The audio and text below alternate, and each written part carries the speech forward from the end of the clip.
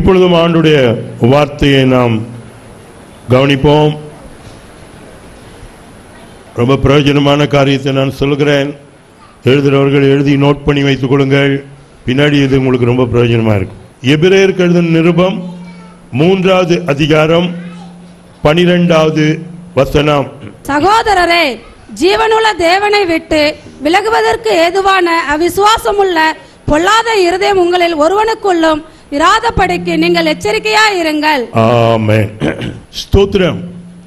ஆண்டோருக்கு ஸ்தோத்திரம். சகோதரரே ஜீவனுள்ள தேவனை விட்டு விலகுவதற்கு ஏதுவான அவிசுவாசமுள்ள பொல்லாத இருதயம் உங்களில் ஒருவனுக்குள்ளும் இராதபடிக்கு நீங்கள் எச்சரிக்கையாய் இருங்கள். அமேன் ஜீவனுள்ள தேவனை விட்டு விலகுகிற விலகுவதற்கு ஏதுவான அவிசுவாசமுள்ள பொல்லாத இருதயம் உங்களுக்கு இருக்கக்கூடாது என்றார் அவிசுவாசமுள்ள இருதயத்தை பொல்லாத இருதயம் சொல்றாரு. ஆகவே அவிசுவாசமுள்ள இருதயம் பொல்லாத இருதயம் அது உங்களுக்கு இருக்கக்கூடாது. அது உங்களை என்ன பண்ணணும்னா ஜீவனுள்ள தேவனை விட்டு விலகி போக செய்யணும். ஆகவே அவிசுவாசமுள்ள பொல்லாத இருதயம் நமக்கு இருக்கக்கூடாது. இருக்காதபடிக்கு எச்சரிக்கையா இருங்க. அப்ப என்ன இருதயம் இருக்கணும்? என்ன இருதயம் இருக்கணும்? அவிசுவாசம் உள்ள பொல்லாத இருதயம் இருக்கக்கூடாதுன்னா விசுவாசம் உள்ள நல்ல இருதயம் இருக்கணும். அமேன் விசுவாசம் உள்ள நல்ல இருதயம் நமக்கு இருக்க வேண்டும். அமேன் இப்ரேற்கு நாலாம் அதிகாரம் ரெண்டு மூணு வசனங்களை பாருங்க. ஏனெனில் சுவிசேஷம் அவர்களுக்கு அறிவிக்கப்பட்டது போல நமக்கும் அறிவிக்கப்பட்டது. கேட்டவர்கள் விசுவாசம் இல்லாமல் கேட்டபடியினால் அவர்கள் கேட்ட வசனம் அவர்களுக்கு பிரயோஜனப்படவில்லை. ஆமா விசுவாசம் இல்லாமல் கேட்டார்கள். சுவிசேஷம் அவர்களுக்கு அறிவிக்கப்பட்டது போல நமக்கும் அறிவிக்கப்பட்டது. கேட்டவர்கள் விசுவாசம் இல்லாமல் கேட்டபடியினால் அவர்கள் கேட்ட வசனம் அவர்களுக்கு பிரயோஜனப்படவில்லை. அப்புறம்? விசுவாசித்தவர்களாகிய நாமோ அந்த இளைப்பாறுதலில் பிரவேசிக்கிறோம். ஆமா போதும். விசுவாசித்தவர்களாகிய நாமோ அந்த இளைப்பாறுதலில் பிரவேசிக்கிறோம். விசுவாசம் இல்லாம கேட்டவங்களுக்கு அது எதுவுமே பிரயோஜனப்படாது. இங்கே சொல்லுகிற வார்த்தைகள் எல்லாம் விசுவாச வார்த்தைகள் தேவனுடைய வார்த்தைகள். ஆமேன். ஆகவே இந்த விசுவாச இந்த வார்த்தைகளை விசுவாசத்தோடு கேட்கும் பொழுது இது உங்களுக்கு பெரிய பிரயோஜனமா இருக்கும். இது ஆண்டோடைய ராஜ்யத்துக்குள்ளே நம்மை கொண்டு கொண்டு சேர்க்க நம்மை வழி நடத்துகிறதா இருக்கும். விசுவாசிகளாகிய நாமோ அந்த இளைப்பாறுதலுக்குள்ளே பிரவேசிக்கிறோம். சுவிசேஷம் நம்மை ஆண்டவருடைய இளைப்பாறுதலுக்குள்ளே நடத்தக்கூடியதாய் இருக்கிறது. ஆமென்.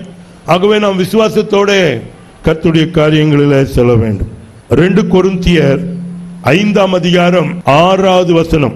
ரெண்டு கொருந்தியர் ஐந்தாவது அதிகாரம் ஆறாவது வசனம். நாம் தரிசித்து நடவாமல் விசுவாசித்து நடக்கிறோம். ஆமா. நாம் தரிசித்து நடவாமல் விசுவாசித்து நடக்கிறோம். நம்ம விசுவாசத்தில் தான் நடக்கிறோம். தரிசித்து நடக்கல. தரிசித்து நடந்தது தோமா. அவர் தான் தரிசித்து நடந்தார். அவர் என்ன சொன்னார்? இருபதாம் அதிகாரம் யோவான் சுவிசேஷத்தில். யோவான் சுவிசேஷம் இருபதாவது அதிகாரத்தில் தோமா என்ன சொன்னார்? அவர் உயிர் திறந்தார் சொன்னா நான் நம்ப மாட்டேன். நான் அவருடைய கைகளில் உள்ள காயத்தை பார்க்கணும். அவருடைய விழாவில் உள்ள காயத்தை பார்க்கணும். அப்போ தான் என்ன பண்ணுவேன்? நம்புவேன்னு சொன்னார். யோவான் இருபதாவது அதிகாரம் இருபத்தி ஏழு வாசிங்க. பின்பு அவர் தோமாவை நோக்கி நீ உன் விரலை இங்கே நீட்டி என் கைகளை பார். தோமாவை பார்த்து ஆண்டவர் சொல்றாரு தோமாவுக்கு கர்த்தர் தரிசனமாகி நீ உன் விரலை நீக்கி என் கையை என்ன- பண்ணு? என் கைகளை பார். கைகளை பார் உன் கையை நீட்டி உன் என் விழாவிலே போடு. ம். அவ்விசுவாசியா இராமல் விசுவாசியா இரு என்றார். அவிசுவாசியா இராமல் விசுவாசியா இரு என்று சொன்னார். அது ஆண்டவருடைய கட்டளைகளில் ஒண்ணு. அவிசுவாசியா இராமல் விசுவாசியா இரு என்று சொன்னார். அப்பொழுது தோமா என்ன சொன்னாரு? தோமா அவருக்கு பிரதியுத்தரமாக என் ஆண்டவரே என் தேவனே என்றான். ஆமா. தோமா ஆண்டவரை பார்த்து விசுவாசித்த பிறகு என் ஆண்டவரே என் தேவனே என்று சொன்னார். அமேன் ஹalleluya. என் ஆண்டவரே என் தேவனே என்று தோமா சொன்னார். ஹalleluya. ஆண்டவருக்கு மகிமை உண்டாவதாக. அதுக்கப்புறம் தான் அவர் ஆண்டவரை தொழுது கொள்ள ஆரம்பிக்கிறார். விசுவாசித்த பிறகு தோமா அவருக்கு பிரதித்திரமாக என் ஆண்டவரே என் தேவனே என்றார். அதற்கு இயேசு பிரதியுத்தரமாக தோமாவே நீ என்னை கண்டதினாலே விசுவாசித்தாய் காணாதிருந்தும் விசுவாசிக்கிறவர்கள் பாக்கியவான்கள் தோமாவே நீ என்னை கண்டதுனால விசுவாசித்தாய் காணாதிருந்தும் விசுவாசிக்கிறவர்கள் பாக்கியவான்கள். நம்மளை பத்தி சொல்றாரு. நம்ம அவரை காணல. காணாமலும் என்ன பண்றோம்? விசுவாசிக்கிறோம். ஆண்டவர் அன்னைக்கே சொல்லிட்டாரு. இப்படி என்ன விசுவாசிக்கிறவங்க தான் பாக்கியவான்கள்னு. லூயா ஆகவே நீங்களும் நானும் ஆண்டவரை விசுவாசிக்கிறவர்கள் பாக்கியவான்கள். ஆண்டவருக்கு மகிமை உண்டாகட்டும். அப்போ விசுவாசத்தை பத்தி இன்றைக்கு சொல்லிக் கொடுக்க போறேன். விசுவாசம். ஃபெய்த் வாட் இஸ் ஃபெய்த் விசுவாசம்னா என்ன? விசுவாசம் என்ன? ஃபெய்த் இஸ் பிலீவிங் காட் விசுவாசம் ஆண்டவரை விசுவாசிப்பது நம்புவது? எபிரேயர் பதினோரு அதிகாரம் ஒன்னாம் வசனம் அப்படிதான் சொல்லுது. எபிரேயர் பதினொன்னு ஒண்ணுல விசுவாசமானது. நம்பப்படுகிறவைகளின் உறுதியும் காணப்படாதவைகளின் நிச்சயமுமாய் இருக்கிறது. விசுவாசம் என்பது நம்பப்படுகிறவைகளின் உறுதி காணப்படாதவைகளின் நிச்சயமாய் இருக்கிறது. கர்த்தரை நம்ம நம்புறோம். எல்லாரும் நம்புறாங்க. ஆனா இயேசு கிறிஸ்து சொல்லும் பொழுது யோவான் பதினாலாம் அதிகாரம் ஒண்ணாம் வசனத்துல தேவனிடத்தில் விசுவாசம் உள்ள உங்கள் இருதயம் கலங்காதிருப்பதாக உங்கள் இருதயம் கலங்காதிருப்பதாக தேவனிடத்தில் விசுவாசமாயிருங்கள் என்னிடத்திலும் விசுவாசமாயிருங்கள் என்று சொன்னார். தேவனிடத்தில் விசுவாசமாயிருங்கள் என்னிடத்திலும் விசுவாசமாயிருங்கள். அப்போ விசுவாசம் தேவனிடத்தில் வைக்கிற விசுவாசம். விசுவாசம் என்றால் இயேசு கிறிஸ்துவினிடத்தில் வைக்கிற விசுவாசம். இயேசு கிறிஸ்துவை விசுவாசிப்பது. ஹalleluya அந்த அதாவது நம்பப்படுகிற உறுதி. சும்மா நான் நம்புகிறேன். எல்லாரும் சொல்ற மாதிரி இல்லை. இல்லை இல்லை இயேசுவை நான் விசுவாசிக்கிறேன். உறுதியாய் விசுவாசிக்கிறேன். இயேசு என்னை விடுவிப்பார். இயேசு எனக்கு நன்மை செய்வார். அமேன் இயேசு என்னை ஆசீர்வதிப்பார். இயேசுவை நான் விசுவாசிக்கிறேன் என்று உறுதியாய் இயேசுவை நம்பி உறுதியாய் இருக்கிறது நம்பப்படுகிறவர்களின் உறுதி உறுதியாயும் காணப்படாதவைகளின் நிச்சயமாயும் இருக்கிறது. காணப்படாதவை நாம் பார்க்காத இயேசுவை விசுவாசிக்கிறோம். அமேன் ஆண்டவருக்கு மகிமை உண்டாகட்டும். அப்படிப்பட்ட விசுவாசத்தை தான் கர்த்தர் அவருடைய பிள்ளைகள் இடத்தில் எதிர்பார்க்கிறார். எபிரேயர் பதினோரு அதிகாரத்துல ஆறாவது வசனத்துல ஆண்டவர் சொல்றாரு விசுவாசம் இல்லாமல் தேவனுக்கு பிரியமாய் இருப்பது கூடாத காரியம். விசுவாசம் இல்லாமல் தேவனுக்கு பிரியமா இருப்பது கூடாத காரியம். விசுவாசம் இல்லாமல் ஆண்டவருக்கு பிரியமா இருக்க முடியாது. ஏனென்றால் ஏனென்றால் தேவனிடத்தில் சேருகிறவன் அவர் உண்டென்றும் அவர் தம்மை தேடுகிறவர்களுக்கு பலன் அளிக்கிறவர் என்றும் விசுவாசிக்க வேண்டும். ஆமாம் தேவனிடத்தில் சேர்கிறவன் அவர் உண்டு. அவர் தம்மை தேடுகளுக்கு பலன் அளிக்கிறார் என்று விசுவாசிக்க வேண்டும். அமேன் அந்த விசுவாசம் இல்லாமல் தேவனுக்கு நம்ம என்ன பண்ண முடியாது? பிரியமா இருக்க முடியாது. அந்த விசுவாசம் இல்லாமல் தேவனுக்கு பிரியமா இருக்க முடியாது. விசுவாசத்தோட நம்ம ஆண்டவரை பின்பற்றும் பொழுது அது ஆண்டவருக்கு பிரியமா இருக்கும். அல்லேலூயா. ஆகவே விசுவாசம் என்பது தேவன் மேல் நாம் வைக்கிற விசுவாசம் அல்லது நம்பிக்கை. அமேன் வேற பொருட்கள் மேலேயோ நபர்கள் மேலேயோ அல்ல. God believing faith is believing God தேவனை விசுவாசிப்பது. அதான் அந்த யோவான் பதினாலு ஒன்றில் ஆண்டவர் இயேசு சொன்னார் உங்கள் இருதயம் கலங்காதிருப்பதாக. தேவனிடத்தில் விசுவாசமாயிருங்கள் என்னிடத்திலும் விசுவாசமாயிருங்கள் சொன்னார். தேவனிடத்தில் விசுவாசமாயிருங்கள் என்னிடத்திலும் விசுவாசமாயிருங்கள். ஆண்டவர் விசுவாசமாக விசுவாசமாயிருந்து நம்முடைய வாழ்க்கையில் நாம் முன்னேறி செல்கிறவர்களாக இருக்க வேண்டும். அடுத்ததாக த இம்பார்ட்டன்ஸ் ஆஃப் ஃபெய்த் விசுவாசத்தின் முக்கியத்துவம். விசுவாசம்னா என்னன்னு சொன்னேன். வாட் இஸ் ஃபெய்த் விசுவாசம்னா நம்பப்படுகளின் உறுதி காணப்படாதவைகளின் நிச்சயம். இப்போ த இம்பார்ட்டன்ஸ் ஆஃப் ஃபெய்த் அதாவது விசுவாசத்தின் முக்கியத்துவம். விசுவாசத்தின் முக்கியத்துவம் அப்போஸ்தல் நடபடிகள் பத்தாவது அதிகாரம் நாற்பத்தி மூன்றாவது வசனம். அப்போஸ்தல நடபடிகள் பத்தாவது அதிகாரம் அவரை நாற்பத்தி மூன்றாவது வசனம். அவரை விசுவாசிக்கிறவன் எவனோ அவன் அவருடைய நாமத்தினாலே பாவ மன்னிப்பை பெறுவான் என்று தீர்க்கதரிசிகள் எல்லாரும் அவரை குறித்து சாட்சி கொடுக்கிறார்கள் என்றார். ஆமா அவரை விசுவாசிக்கிறவன் எவனோ அவன் அவருடைய நாமத்தினால பாவ மன்னிப்பை பெறுவான். ஆமென். அவரை விசுவாசிக்கிறவன் எவனும் யாரா இருந்தாலும் ஆண்டவர் இயேசுவை விசுவாசித்தான்னா அவருடைய நாமத்தினால அவன் என்ன பெற்றுக்கொள்வான்? பாவ மன்னிப்பை பெற்றுக்கொள்வான். அவன் பாவ மன்னிப்பை அவன் பெற்றுக்கொள்வான். ரொம்ப முக்கியமானது. ஆகவே பாவ மன்னிப்பை நாம் பெற்றுக்கொள்வதற்கு நமக்கு என்ன வேணும்? விசுவாசம் வேணும். யார் மேல விசுவாசம்? ஆண்டவர் இயேசு கிறிஸ்துவின் மேல. அவரால் தான் பாவத்தை மன்னிக்க முடியும். ஆமென். ஆமா ஒன்னு யோவான் ஒன்னு ஏழுல ஒன்னு யோவான் ஒன்னு ஏழுல என்ன சொல்லிருக்கு? அவர் ஒளியா அவர் ஒளியில் இருக்கிறது போல. நாமும் ஒளியிலே நடந்தால் ஒருவரோடு ஒருவர் ஐக்கியப்பட்டிருப்போம். அவருடைய குமாரனாகிய இயேசு கிறிஸ்துவின் ரத்தம் சகல பாவங்களையும் நீக்கி நம்மை சுத்திகரி அவருடைய குமாரனாகிய இயேசு கிறிஸ்துவின் இரத்தம் சகல பாவங்களை நீக்கி நம்மை சுத்திகரிக்கும். இயேசு கிறிஸ்துவின் இரத்தம். சகல பாவங்களை நீக்கி நம்மை சுத்திகரிக்கும். எப்போ?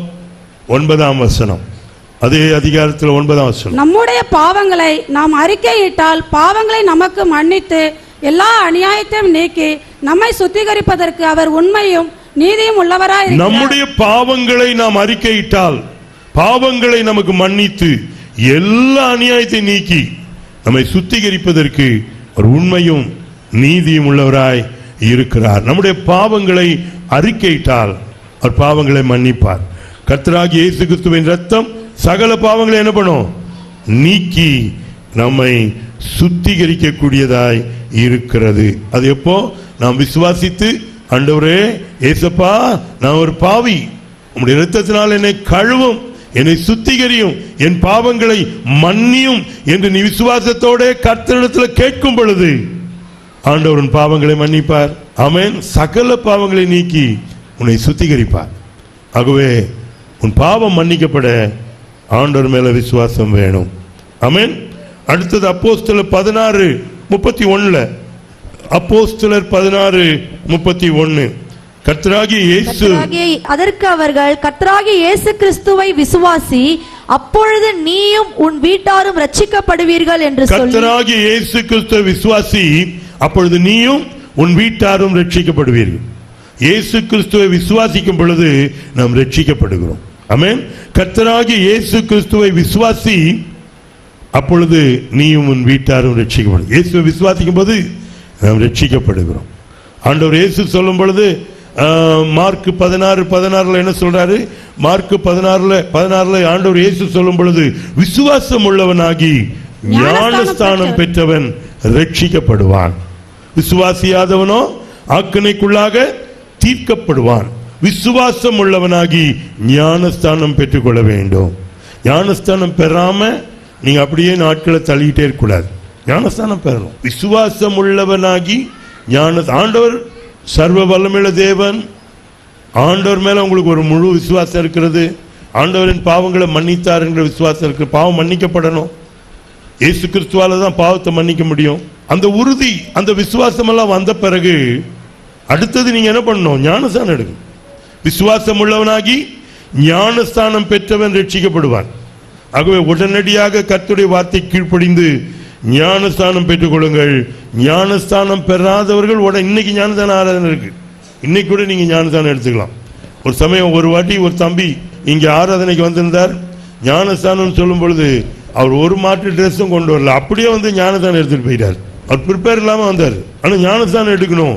இன்னைக்கு ஞானஸ்தான ஆராதனை அப்படின்னு சொல்லி கொடுத்த உடனே அவர் அப்படியே வந்து ஞான அதாவது ஞானஸ்தானம் தேவனுடைய கட்டளை அந்த தேவனுடைய கட்டளைக்கு நாம் கீழ்ப்படி தள்ளி போட்டுக்கிட்டே போகக்கூடாது.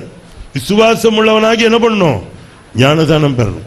எவ்வளோ நாள் தள்ளி போட்டுக்கிட்டே இருப்பீங்க? ஒருவன் கிறிஸ்துவுக்குள் இருந்தால் புது சிருஷ்டியாக இருக்கிறான். பழையவைகள் ஒழிந்து போன எல்லாம் புதிதாக என்ன? ஆகவே அந்த பழைய மனுஷனை தண்ணியில் அடக்கம் பண்ணி புது மனுஷனாக சாட்சியாக எழுமணும் அதான் ஞானஸ்தானம். ஆகவே ஞானஸ்தானம் ரொம்ப முக்கியம். விசுவாசம் உள்ளவனாகி ஞானஸ்தானம் பெற்றவன் ரட்சிக்கப்படுவான். ஆமாம் அடுத்தது ரோமர் ஐந்து ஒன்று. ரோமர் ஐந்து ஒன்று. இவ்விதமாக படிங்க இவ்விதமாக நாம் விசுவாசமாக நாம் விசுவாசத்தினாலே போதும் போதும். இவ்விதமாக நாம் விசுவாசத்தினாலே நீதிமான்களாக்கப்பட்டிருக்கிறோம். அமேன் ஆகவே விசுவாசத்தினாலே பாவ மன்னிப்பு நமக்கு கிடைக்கிறது. விசுவாசத்தினாலே ரட்சிப்பு நமக்கு கிடைக்கிறது. விசுவாசத்தினாலே நாம் நீதிமான்களாக்கப்படுகிறோம். ஆமென். லூயா ஆகவே கர்த்தர் நம்மளை நீதிமானா மாத்துறாரு.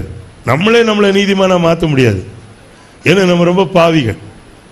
ஆண்டவர் இயேசு நம்முடைய பாவத்தை மன்னித்து அவருடைய இரத்தத்தினால கழுவி சுத்திகரித்து விசுவாசத்தினால நம்ம நீதிமானா மாற்றியிருக்கிறார்.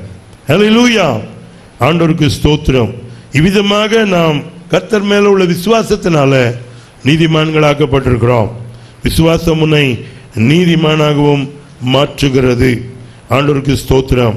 அடுத்தது கலாத்தியர் மூன்றாவது அதிகாரம் இருபத்தி ஆறாவது வசனம். கலாத்தியர் மூன்று இருபத்தி ஆறு. நீங்கள் எல்லாரும் கிறிஸ்து இயேசுவை பற்றும் விசுவாசத்தினால் தேவனுடைய புத்திரராயிருக்கிறார்கள் இருக்கிறீர்களே. கிறிஸ்து இயேசுவை பற்றிய விசுவாசத்தினால தேவனுடைய புத்திரர் விசுவாசத்தினால ஆண்டோடைய பிள்ளைகளாக நம்ம மாறிடும் ஹalleluya ஆண்டவர் மேல உள்ள விசுவாசத்தினால ஆண்டோடைய பிள்ளைகளாக நாம் மாறிடுறோம். ஆண்டவர் இயேசு அதை யோவான்ல ஒன்னு பன்னெண்டுல ஆண்டவர் இயேசுவே சொல்றார். யோவான் ஒன்னு பன்னெண்டுல. அவருடைய நாமத்தின் மேல். விசுவாசம் உள்ளவர்களாய் அவரை ஏற்றுக்கொண்டவர்கள் எத்தனை பேர்களோ அத்தனை பேர்களும் தேவனுடைய பிள்ளைகளாகும்படி அவர் அவர்களுக்கு அதிகாரம் கொடுத்தார். ஆமா அவருடைய நாமத்தின் மேல் விசுவாசம் உள்ளவர் அவரை ஏற்றுக்கொண்டவர்கள் எத்தனை பேரோ? விசுவாசித்து ஆண்டவர் இயேசுவை விசுவாசித்து அவரை ஏற்றுக்கொண்டவர்கள் எத்தனை பேரோ? அத்தனை பேரும் தேவனுடைய பிள்ளைகளாகும்படி அவர்களுக்கு அதிகாரம் கொடுத்தார். அத்தனை பேரும் தேவனுடைய பிள்ளைகளாகும்படி ஆண்டவர் அவர்களுக்கு அதிகாரம் கொடுத்தார். விசுவாஸ் விசுவாசித்து இயேசு கிறிஸ்துவை விசுவாசித்து ஏற்றுக்கொண்டவர்கள் தேவனுடைய பிள்ளைகளாகும்படிக்கான அதிகாரத்தை ஆண்டவர் கொடுக்கிறார். அமேன் ஆகவே இது ரொம்ப முக்கியம் விசுவாசம். நமக்கு ரொம்ப அவசியம் விசுவாசம். அப்போ ஹவு டு அப்டெயின் ஃபெய்த் விசுவாசத்தை எப்படி பெற்றுக்கொள்வது? விசுவாசத்தை எப்படி பெற்றுக்கொள்வது?